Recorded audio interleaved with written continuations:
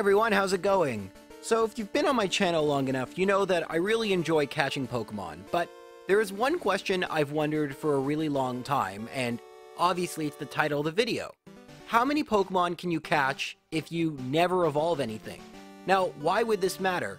Well, when you think of catch 'em all, you're thinking of actually catching Pokemon, but a lot of times, because it's faster, I'll simply catch a pre-evolved Pokemon like a Caterpie, level it up a little bit, and there you go. That's now three Pokemon registered in your Pokedex, when in reality, you only caught one. So for today's video, we're gonna see how many you can catch if you never evolve anything. And for the first time, I've filmed the entire Catch 'em All, so I'll be able to take you through the process of how I go about catching all these Pokemon, what parts were difficult, which you guys seem to enjoy, and I'll even have a nice little graphic on the side for you to keep track of how many Pokemon I've caught. So yeah, that's enough preamble. Let's talk about the run itself. So, in the beginning, you get one Pokemon. I decided to pick Bulbasaur because, well, there are a few reasons, but it was the best in the solo challenge, so I figured it deserved to be my starter for this challenge. Unfortunately, you can't catch any of the starters, so that means out of 150 potential Pokemon, and for those of you who've watched my Catch 'em All series, you know it's not actually 150, but for now, that's eight Pokemon we're not going to be able to catch. I'm not going to mark them or anything because it would just get too confusing, but something I figured I should bring up. Anyway, after you get your Bulbasaur or whatever, you can go and get the Pokedex, and then we can actually start catching some Pokemon. And the first Pokemon most people will catch are Rattata and Pidgey. On Route 2, as you're heading to Viridian Forest, you can catch both of them. Of course, I forgot, this isn't a big deal since they're available everywhere, but funny enough, I ended up going through the whole game without ever catching Rattata. I did catch a Pidgey here, but Rattata wasn't caught until I was double checking everything right near the end. So, not a big deal since they're so common, but kind of funny. Anyways, we head to Viridian Forest. It's a good time to talk about the planning and strategy that goes into these runs in any generation. So, Viridian Forest, there are five Pokemon. I'm showing you red version since that's the version I'm playing, but it's the same in blue, just with some numbers reversed. So, one Pokemon that we're not necessarily going to catch here, even though I ended up doing so, is Pikachu. And let's talk about why that is. Pikachu is only available 5% of the time in Viridian Forest, but in the power plant, it's available at a much higher rate. So it makes sense to catch it there, assuming we have to go since the power plant is way out of the way. Well, there are a bunch of Pokemon in Red and Blue that are only catchable in the power plant, like Electabuzz, so we have to go there anyway, and thus, while I will catch a Pikachu if I find one, I'm not going to waste time here looking for one if I've caught everything I need. And the other four Pokemon we actually do need to catch here. That's something you have to pay attention to as well. While many Pokemon repeat, there are some Pokemon, like in Red version, Caterpie, Kakuna, and Metapod, that are only going to be found in Viridian Forest. So I can't leave here until I've caught at least these three Pokemon, although Weedle is going to be caught pretty soon. So this can take a really long time, and I just want to address that there are ways of speeding this up without using cheats or glitches. As you could figure, we're not using any glitches since glitches completely change the way you catch Pokemon in Red and Blue, but you can manipulate the randomness. Uh, it's not very well known, and speedrunners have a whole table you can follow it's not something I've ever really gotten good at, and frankly, I don't feel like learning it since it just doesn't represent how the average person would have played these games for me at any point. I've never been able to do this. And so, while people are going to comment and say you could have saved a lot of time, because yeah, I did spend a long time, I spent about 40 minutes in Viridian Forest, that's really bad luck, but when you're relying purely on randomness, such things can happen. Anyway, it is something you can do if you're thinking about doing this yourself, but I don't know, I wanted to go for the classic just run in the grass and hope method. It's not the best, but at least it's in line with what the developers intended, which is kinda cool. Anyway, after you've caught those four Pokemon, you can beat Brock and then head to Route 3. Now, Route 3 is three Pokemon, of course we already have a Pidgey, but you can find Spearow, and I do, although it's not necessary, but you need to find Jigglypuff here. Luckily, after I catch the Spearow, I immediately find a Jigglypuff. 10% isn't terrible, but it's not great. But Jigglypuff is only catchable here, so if you forget to get Jigglypuff, you'll have to come back, which is never fun. So might as well catch one right here, and that brings our total to 9 Pokemon entering the Pokemon Center before Mount Moon because we can buy a Magikarp. And I get that gift Pokemon are a bit of a gray area, but someone else caught them and then gave it to us, so it was still caught. It wasn't evolved, thus it still counts. And we have 10 Pokemon. We're 1 15th of the way done. Woohoo! Now, funny enough, Mount Moon itself, although you don't have to catch any of the Pokemon here, it's faster to catch a bunch of them, and I end up catching all four available Pokemon. The one you might think is questionable is Clefairy, and let me explain why I caught Clefairy here. Now, even though Clefairy only appears in Mount Moon at a 6% rate at best, the alternative is to spend 500 coins at the Rocket Game Corner, and I'd really prefer not to do that. We're going to need a whole lot of coins later, spoiler alert, and so it would really save time if I just got Clefairy right now. Thankfully, I did find one rather quickly, and of course, wouldn't you know, it fainted my Bulbasaur and I accidentally hit B and I ran away. I was very annoyed, but like two encounters later, I got another Clefairy. I have very weak Pokemon since I'm only really training Bulbasaur since it's just quicker to train up one Pokemon, and Bulbasaur's attack is low enough that I'm usually able to weaken Pokemon without knocking them out. Another really good reason to pick it. Anyway, I was able to catch Clefairy on pretty high health, which is kind of lucky, but I will take it, and that brings our total up to 14. Now, as we head to Cerulean, there is actually only one Pokemon we're going to catch for the next little while, and that's Ekans. I didn't actually even need to catch it here on Route 4. I just decided to because I'm not really sure why. I wasn't really thinking ahead. But sure, you can catch Ekans. That brings us to 15 Pokemon, and now we have to fight a whole bunch of trainers, which in this video isn't very important.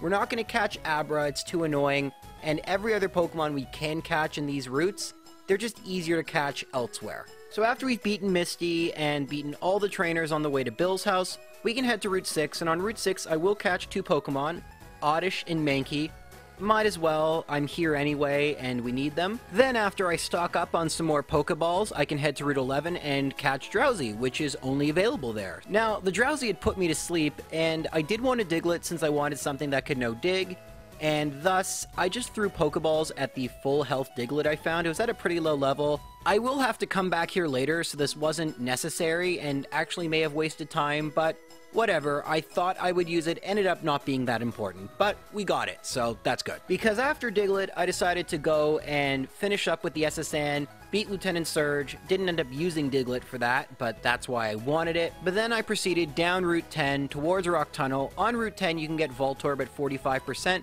so I picked one of those up. And finally, we've made it to Rock Tunnel, where you might think I'd catch a bunch of Pokemon, but ended up catching actually nothing.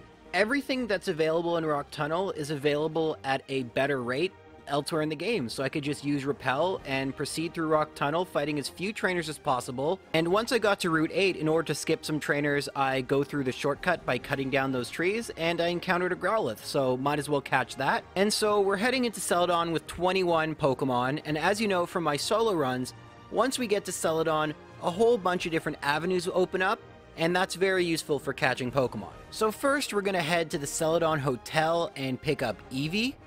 Then, we're going to go and get the coin case and find some coins on the floor to purchase an Abra, way easier than trying to catch one while they teleport away from us.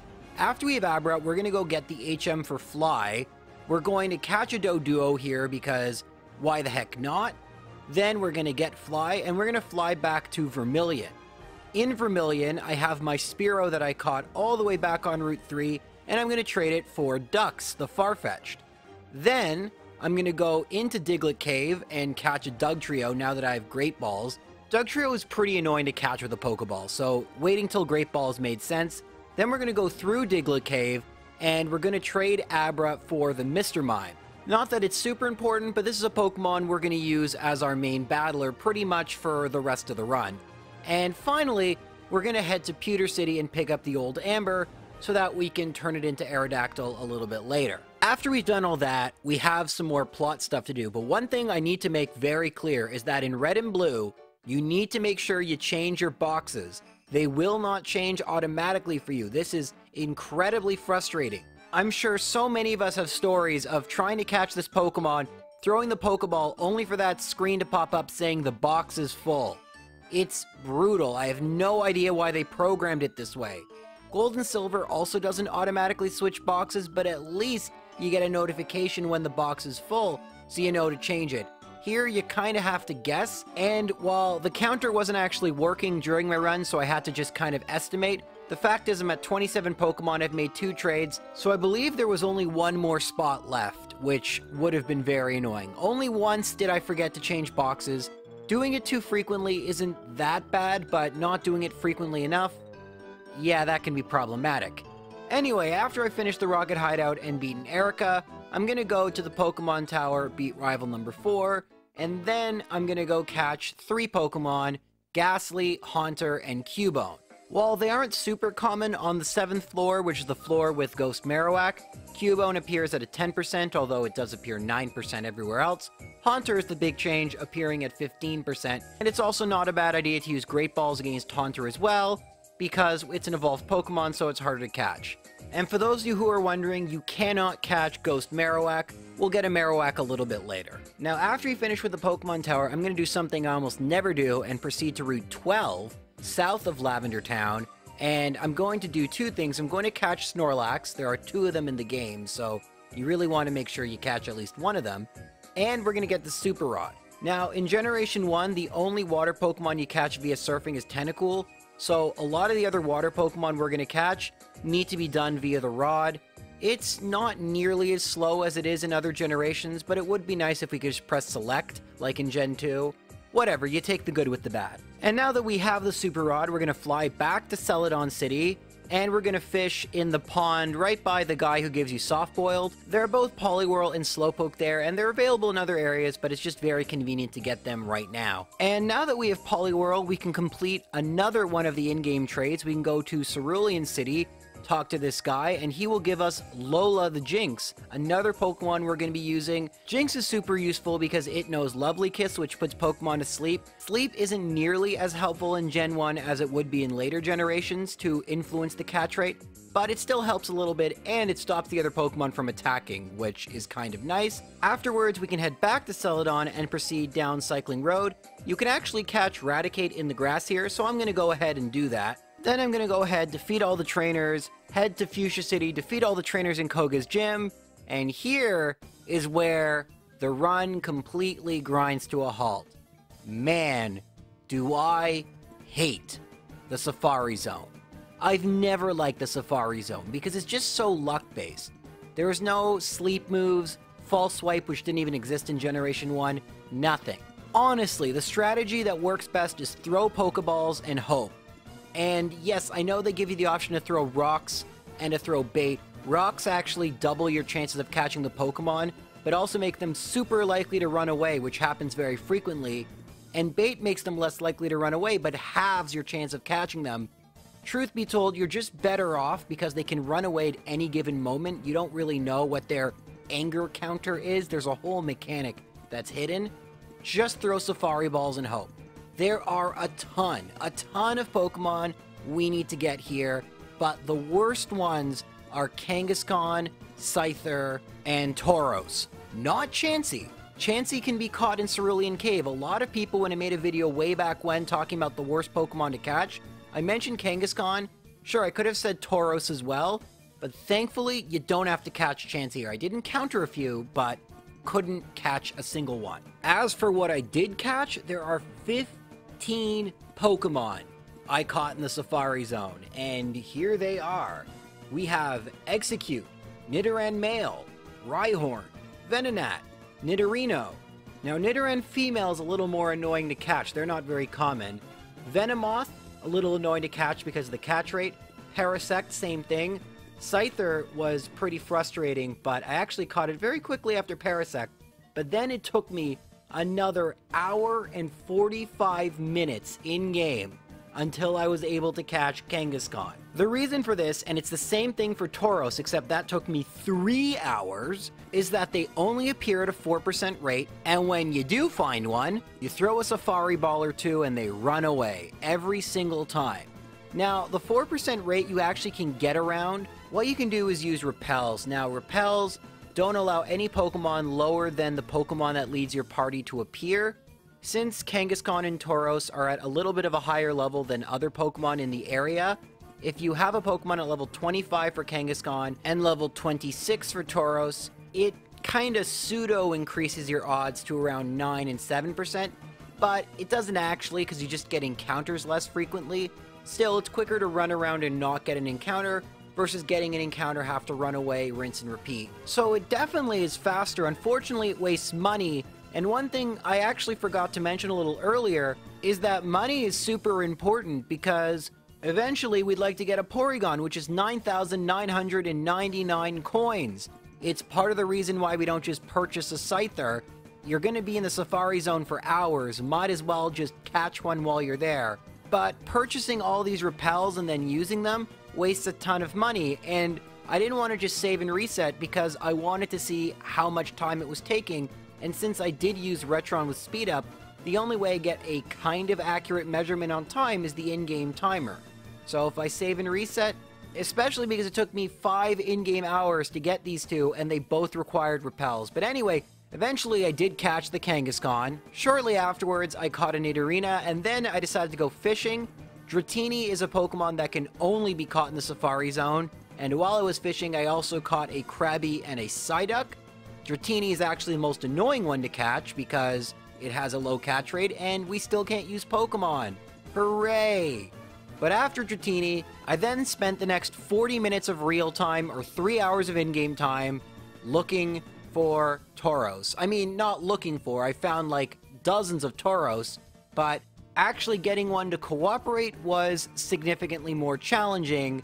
But finally, after this entire endeavor, we have caught 50 different Pokemon, or one third of the Kanto Pokedex, and that, at least, is something to be happy about. But we still have many more Pokemon to catch. In fact, we're going to go to Route 15, which is just to the east of Fuchsia City, and we're going to use Repels to catch a couple more Pokemon, Gloom and Pidgeotto. This time we need a Pokemon at level 30 because each of these Pokemon only have a 5% encounter rate. With a level 30 Pokemon, there isn't a lot of grass, so it takes a while for an encounter, but at least in this case, every encounter is guaranteed to be one of Gloom or Pidgeotto. The thing is though with Pidgeotto, there is a 50-50 chance the Pidgeotto is going to be level 28 or level 30, so it's actually only a 2.5% chance for Pidgeotto. So once I've caught Gloom, I actually switched to my level 27 Eevee, which will ensure more Pidgeotto spawn, which is what I want, because I was just getting Gloom after Gloom after Gloom. Now, some people might also know Ditto is available here, but it's way easier to catch Ditto a little bit later, especially because I'm spending all my money trying to get coins for Porygon, so I'm going to go ahead and catch Ditto just a little bit later. Speaking of which, one way to get more money for coins for Porygon is to beat all the trainers in Silph Company. There are quite a few of them, the scientists pay pretty well, and then we can fight rival number 5, or rival Fivel as he is better known. And after we defeat him, we can get Lapras. After that, we can defeat Giovanni and get the Master Ball. We'll use that a little bit later. And then defeat Sabrina, and at which point we can head to Pallet Town to surf the Cinnabar, where there's a whole bunch of Pokemon we can catch along the way. Now, funny enough, I always thought this was in Pallet Town, but it's actually Route 21, right beneath Pallet Town where you can catch Tangela. I don't know why, I always thought that was so cool that there was this rare Pokemon right where you started, but you just couldn't access it until almost the end of the game. I also messed up here. I could have easily caught a Pidgeotto here. I don't know why I didn't write that down in my chart. One other thing I just want to comment on is another reason Jynx is so great is that it has terrible physical attack and a very weak move in Lick. So I can weaken Pokemon even once I'm very over leveled, which helps because as I mentioned, False Swipe, the best move for catching Pokemon ever, is not available in Generation 1 since it did not exist yet. Anyway, as we surf down to Cinnabar, we can catch Tentacool, and once we've gotten Cinnabar, we can revive our fossils, and that will give us Omanyte in my case, since it's closer. Yeah, people always ask because it's a Madry Red thing what fossil I pick. Always Helix. Helix is closer, thus I pick Helix. And, uh, of course, Aerodactyl because of the old Amber I picked up earlier. And once we do that, we can head into Pokemon Mansion, and there's actually quite a few Pokemon we can catch here, and Repel Strats are going to be used once again. But I realized I didn't actually have a Pokemon at the level I needed, which was level 37, so I caught a Koffing, a Ponyta, and a Grimer, and I headed back to Saffron remembering Oh yeah, the fighting dojo, that's a thing. So I used Bulbasaur because I needed it to get to level 37, eventually defeated all the trainers in the fighting dojo, and got a Hitmonlee. Why? Again, it's closer. With the level 37 Pokemon, I can head back to the Pokemon Mansion, and I can find the much more rare Weezing and Muk. Depending on the version, one is rarer than the other. If you were playing Blue, you would also catch a Magmar here, but I'm not playing Blue, so we're not going to do that. But now that I have the secret key, I can defeat all the trainers in Blaine's gym. Burglars pay a lot of money, so they're very useful to defeat. And I can defeat Blaine pretty easily. My Pokemon are both pretty overleveled. And to that end, I decided, well, Seafoam Islands, there's a lot of Pokemon I can get there. My team should be able to stall an Articuno until we're able to catch it. Let's head over there. One thing you also might notice I should mention is I'm only using Great Balls as opposed to Ultra Balls. The difference in Generation 1 is incredibly slight. In fact, sometimes Great Balls are better than Ultra Balls. I'm not really sure why that is. Honestly, it's not very important. Great Balls are cheaper, they're half the price, so it just makes sense to use them. So, I get to Seafoam Islands, I find a Golbat, I need one of those, try to catch it, and looky there. My box is full. Told you it only happened once, but oh my goodness, was it a frustrating time, because now I have to fly back to the Pokemon Center, I have to change boxes, and head back to Seafoam Islands. Not the most tedious thing to happen, but was a little deflating. Anyway, now that I'm back at Seafoam Islands, I can use the repel strategy to get a Golduck, which appears at a mere 1%, but is the only Pokemon over level 30, so it's very easy to use repels and to ensure you get a Golduck, although it may take a while for one to actually appear. But in addition, there are some Pokemon that are either exclusive to the Seafoam Islands or are just much easier to catch there. And we're going to end up catching 8 Pokemon in total, 6 additional Pokemon plus Articuno. And I actually got really, really good luck finding every Pokemon really fast. I found Shellder, Horsea, and Dewgong, which isn't super easy to find, very quickly. Not too long after that, I found a Staryu and a Seel, and then Seadra would be another great candidate to use the repel strategy, but I just found one while I was pushing the boulders to get to Articuno, so Hooray, that doesn't happen to me too often. And speaking of Articuno, I was wrong, it's really annoying to catch. Since we don't have any fancy Pokeballs in this generation, you kind of have to hope your Pokemon are super tanky and can just survive a long time. And because of the way Generation 1 works, Articuno will get a critical hit about 20% of the time. So even with a light screen or something, wasn't really helping. You just kind of have to save and just keep resetting until the Articuno decides it's going to stay in the ball. One thing I actually want to mention here that's cool about Generation 1 is the ball shaking is consistent. So in later generations, sometimes it'll shake three times and be like, shoot, you were so close. Or like two times be like, arg, almost had it. In Generation 1, the amount of times it shakes tells you how good your chances were of catching it at the current time. So in Articuno's case, it would actually say it missed the Pokemon if I didn't put it to sleep and lower its health. Now it just breaks out right away, but if it shakes once, that means I know I caught it. It's kind of a weird but neat little quirk of Generation 1. The funny thing is, this is the closest the games ever get, ever, to telling you what the catch rates are. You know, it's funny, there's a lot more information in Pokemon games, but in this one instance, Generation 1 actually told you a little bit more about the mechanics than any other game afterwards. Pretty weird. Anyways, now that we've gotten the first legendary bird, let's go get the second. So we're going to go to the power plant. We don't have to get Pikachu since I did happen to catch one in Viridian Forest. But we are going to catch Magnemite, Magneton, Electrode, which is very scary because it can use self-destruct and there's only two of them. So you should save because I don't believe they respawn. Electabuzz since I'm playing red version. And of course, Zapdos. And with that, it's time to head to Victory Road. But before we get there, there's a route that almost everyone just goes right on past, but has tons of useful Pokemon. And that's Route 23. We're actually going to catch 8 Pokemon here, which ties it with Seafoam Islands for the second busiest catching trip. So first we're going to fish, and we can alternate between the good and super rods. With the good rod, we can find Poliwag, and then I switched to the Super Rod because why not and caught a Kingler. Switched back to the Good Rod to catch a Goldeen. And then caught a Slowbro and a Seaking. And that's all for fishing. Then in the grass, which people usually skip, we can catch Ditto, way more common here. And we can catch Fearow, And finally, although it's a little harder to find, we can catch Arbok. And that brings our total to 84 Pokemon. And there's actually a bunch of Pokemon we're going to catch in Victory Road itself. Some are exclusive to Victory Road, but others are ones I could have caught in Rock Tunnel but are just far easier to catch now since I have Great Balls and more powerful Pokemon. And on that note, the first Pokemon to catch is Golbat, which is much easier to catch now that I'm actually allowed to catch Pokemon.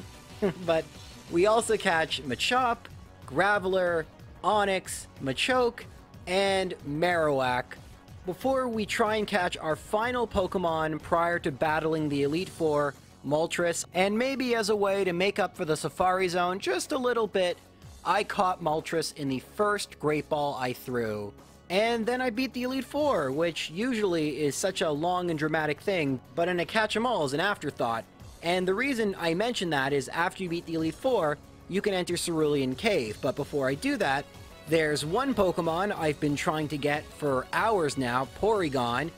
Do I have enough money?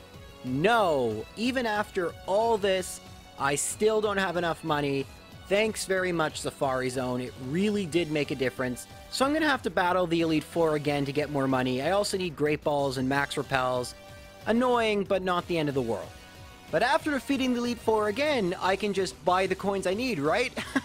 no, no. It doesn't let you go over 999, you silly, silly person.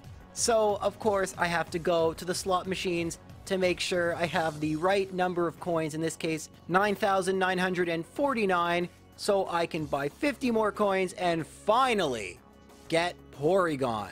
It's not even that good. Why did they make this thing so difficult to get? I will never know, but we have one now. And after that, I figured it was a smart idea to look through the Pokedex and see if I missed anything, and it turns out I missed a couple Pokemon.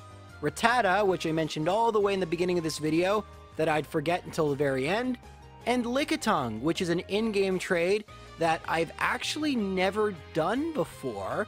The NPC is located just west of Fuchsia City, and I always just trade one in from Gold and Silver, so I didn't actually remember where the NPC was. And now we just have one more location to go Cerulean Cave. It's why we had to beat the Elite Four. Obviously, we're going to finish off with Mewtwo, but there's still quite a few powerful Pokemon we can catch along the way.